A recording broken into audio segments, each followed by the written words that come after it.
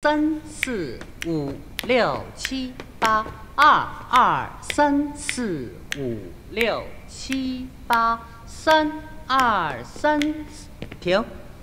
雅丽啊，你现在的状态完全不对。今天为什么要单独给你加练？因为你是 C 位，你的演出决定了毕业大戏的成败。我们调整一下状态，再来一遍，好不好？好，来，预备。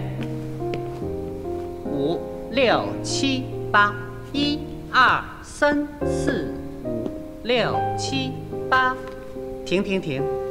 雅丽，你现在给我的状态是游离的，你整个人是精神恍惚的。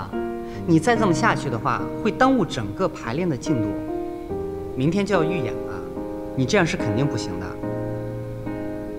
叮咚咚，哎，你帮我看着他一下，一定要注意啊！我刚说的那几点问题，放心吧，老师。缓一下脑子，休息一下，等会儿多练几遍自己，好不好？嗯，